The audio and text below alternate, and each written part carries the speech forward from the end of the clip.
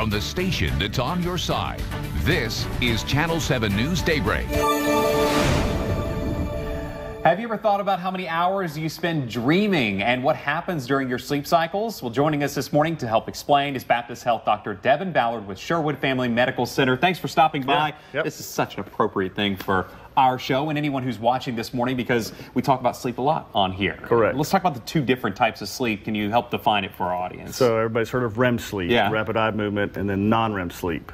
Uh, and uh, uh, REM sleep is what everybody actually truly needs to feel rested.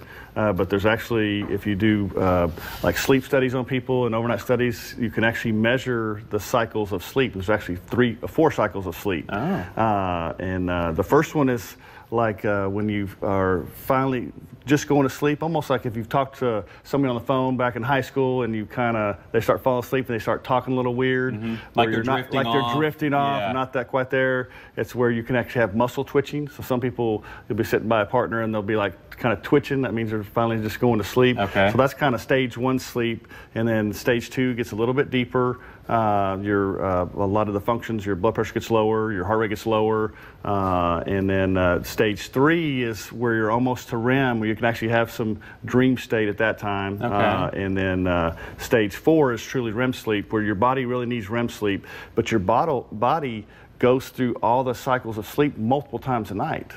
Uh, Okay. So, so you- it's like a it's like an ebb and flow. Correct. Kind of in and out, in and out. Correct. Okay. You know, like you roll over in bed and then you'll start kind of over again. Yeah. But you can get to uh, usually stage three and four sleep a lot faster once you're already asleep, where you don't quite wake up, but you're kind of, you know, like roll over and then you, you go back to sleep pretty quick. and maybe not even remember that you did that, which is why 100%. You know, if you're if you're with someone, they might say, "Yeah, you rolled over and said something to me last night." And you're like, "Nope, no, I didn't. Don't no remember a idea." Correct. So dreaming wise, we always say, you know, write down your dreams if you if you want to remember 'em because we forget so quickly. How often or how long do we actually dream during the night? Most people on average dream about two hours a night.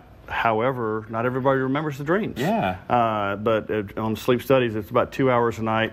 And uh, the cool thing is, in dreams, a lot of times your functions get back to normal. Your heart rate gets higher, your blood pressure gets higher, almost like you're in a wakeful state.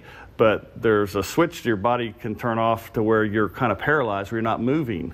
And in some people, that switch is not turned on, where people will actually have movement disorders where they're sleepwalking or I hit my partner because I'm acting out a dream Yeah. and there's things that can that, that can assist with that but uh, but usually you're in a paralysis type state because you're dreaming and you don't want to be running in the bed and things of that nature or, or uh, be walking out to the neighbor's house Right. at nighttime and not remember that.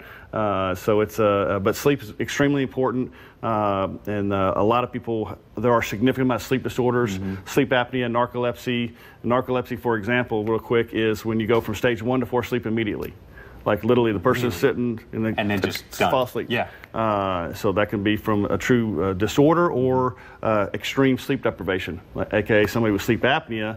They go from stage one and two sleep and never get to three and four Mm. because they wake themselves up because of uh, not breathing. So never really feeling fully rested. Correct. Which is why, if you have any of those issues, or maybe you don't know you do, but someone in your house has noticed issues with you sleeping, contact the Baptist Health Healthline or go to baptist-health.com for more resources available. Doc, thanks for stopping Thank you. by. We Yeah, appreciate, appreciate it. it. Yep.